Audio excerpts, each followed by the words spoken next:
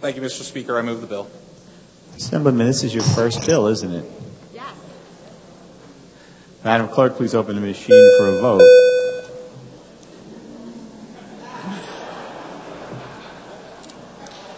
Uh-oh. Looks like you ain't getting too far.